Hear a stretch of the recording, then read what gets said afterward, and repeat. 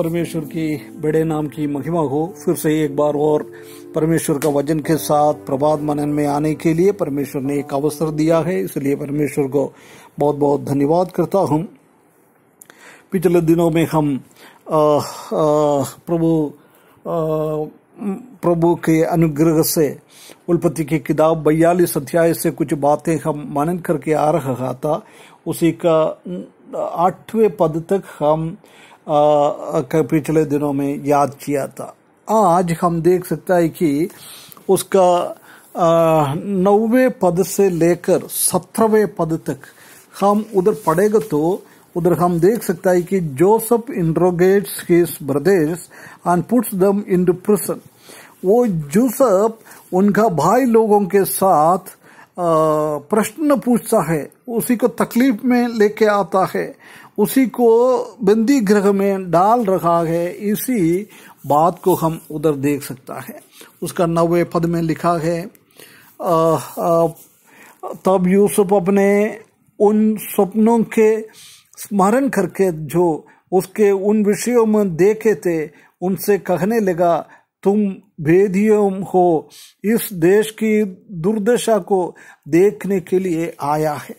इधर हम देख सकता है कि जब ये लोग आ, आ, इनके पास आया है जब चाहिए तो उसको उनके सामने प्रकट कर सकता था। परंतु इधर ऐसी हम देख नहीं सकता है। इधर कठोर रीति से योसफ उनका भाई लोगों के साथ वार्तालाप कर रहा है व्यवहार कर रहा है ये बात को हम देख सकता है। ये सिर्फ़ जो सब एक गेम नहीं खेल रहा है, ये परमेश्वर के हिसाब से ये कर रहा है। परमेश्वर ने इनका हृदयों में 20 साल के ऊपर से पहले देखे हुए वो स्वप्न को याद दिलाया। क्योंकि ये इनका कठोर ये स्वभाव के द्वारा जो के भाई लोग अपना गलतियों को समझ ले और भाई के साथ एक अच्छा व्यवहार करने के लिए, मज़बूत करने के लिए ये बात यूसुफ कर रहा है। कभी भी यूसुफ उसको प्रतिकार करने के लिए उसने उसको क्या किया है उसी का एक आ, ये करने के लिए जोसफ काम नहीं कर रहा है। परंतु जोसफ को यही चाहता था कि उनका भाई लोगों का स्वभाव बहुत खराब है। हम जानता है कि उसने छोटा बचपन में भी वो भाई लोगों को गलतियों को जाके अपना पिताजी के पास बोलने वाला था। उसके बाद उनके साथ क्या कुकर्म किया है वो भी उसने देखा है।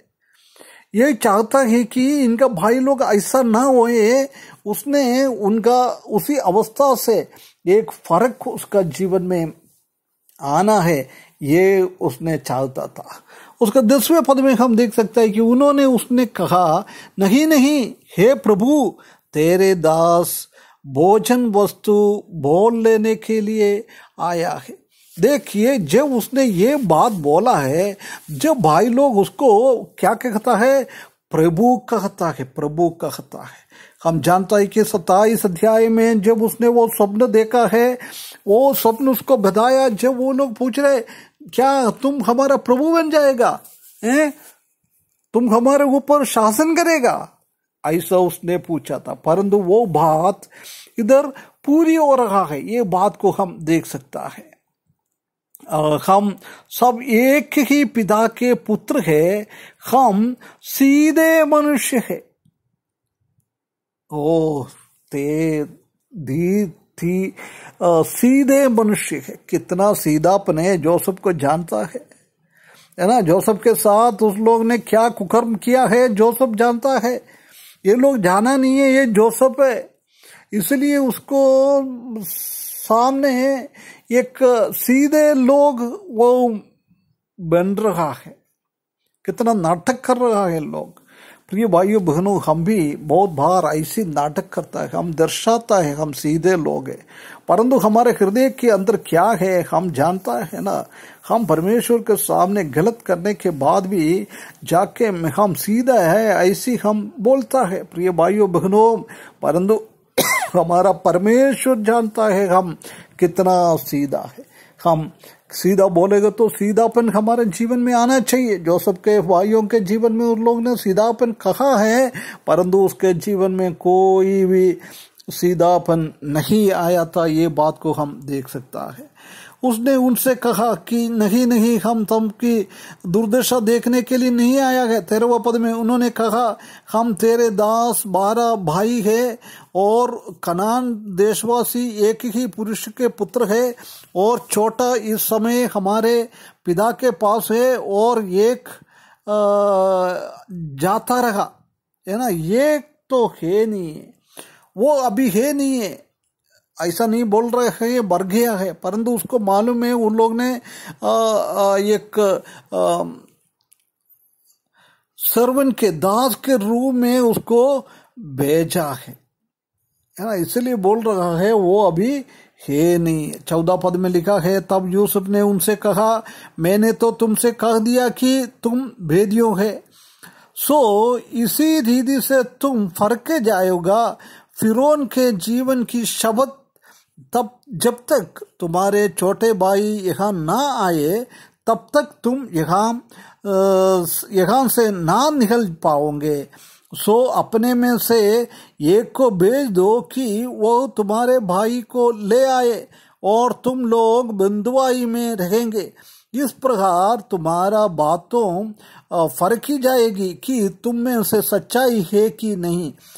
यदि सच अच्छे ना ठहरे, तब फिर उनके जीवन की शब्द तुम निश्चय ही बेदिया समझ जाओगे। तब उसने उनको तीन दिन तक बंदी गृह में रखा है। ये जोसफ ये चाहता था कि उनका सखा भाई बेंजामिन को देखने का ये किच्चा उसका जीवन में था। उन लोगों को बंदी गृह में डाल रहा है उन लोगों को एक अच्छा दीदी में लेके आने के लिए ये इतना काम कर रहा है, ये बात को हम देख सकता है। तो ये भाइयों बहनों हमारे जीवन में भी एक सीधापन हमारे जीवन में आना चाहिए। हम किसी को, मनुष्य को बेवकूफ़ बना सकता है। मनुष्य के सामने हम सीधा बनकर रह सकता है। परंतु परमेश्वर के सामने कभी भी हम सीधा बन नहीं सकता है। हकीकत में हमारे हृदय के अंदर वो सीधापन होना चाहिए। मुँह से हम सीधा बन जाएगा तो कितना सीधा बन जाएगा? इधर हम देख सकता है कि जो सबके भाई लोग ने बोल रहा है, हम सीधा है। परंतु जोसफ अच्छी तरफ़ से जानता है कि ये भाई लोगों को सीधापन कितना है। वो छोटा बच्चा था, जब भाई लोगों का गलतियों में जाके अपना पिताजी से बात करता था, वो भी नहीं। उसी का जीवन के साथ क्या ये लोग ने किया है? क्या सीधापन का काम किया है? उनका भाई को बाहर डालने के लिए कोशिश किया है, उसके बाद वो गुलाम में भेज दिया है। देख कितना तकलीफ़ और कितना परेशानी उनका जीवन में दिया है। प्रिय भाई बहनों हम हमारे जीवन में परमार्थ के साथ, ईमानदारी के साथ, हमारा जीवन बिताए, हमारे हृदय का अवस्था, हमारा परमेश्वर जानता है, हमारा प्रभु जानता है, वो समझकर हम हमेशा एक अच्छा जीवन बिताने के लिए, परमार्थ जीवन बिताने के लिए, दूसरों को हम उनका गलतियों से वापस लेके आने के लिए, उनका अच्छा रास्ते में लेके आने के लिए जो सब कैसे कोशिश कर रहे हैं, ऐसी हमारे जीवन में भी दूसरों को सही सलाम लेके आने के लिए, इस वज़न के द्वारा परमेश्वर हमको सकायदा करे, उसके बड़े नाम की महिमा हो।